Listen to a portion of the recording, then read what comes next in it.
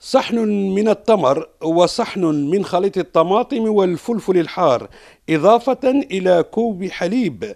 إذا وضعوا أمامك فأنت مع أكلة تقليدية تظهر كل موسم جني المنقر لسكان قصر العتيق بن قوسة ولاية ورقلة.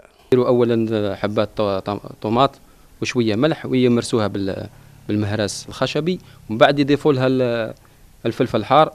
ثاني بنفس النهج يكملوا يهرسوها بالمهراس ويكب في إناء يكون عادة آه، من خشب وتسمى باللهجة المحلية التوجريت ويقدم مع المنقر والحليب.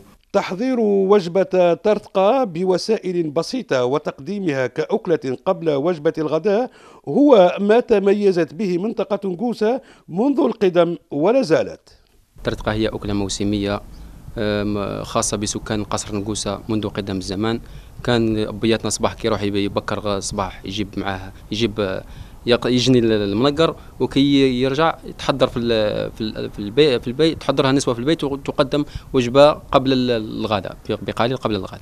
طريقة إعداد أكلة ترتقى لسكان قصر نقوسة شبيهة بطريقة تحضير أكلة الزفيطي لولا الاختلاف في مكونات الأكلة. ترتقى هي أشبه ب في في في. مش في المكونات أشبه هي بأكلة الزفيط اللي كاينة في عند إخواننا في جهة في الوسط مسيلة ولا والجلفة ولا كذا ولكن هما يستعملوا فيها الكسرة ولكن إحنا نديروا فيها غير غير ثلاث مكونات. هما يستعملوها في فصل الشتاء.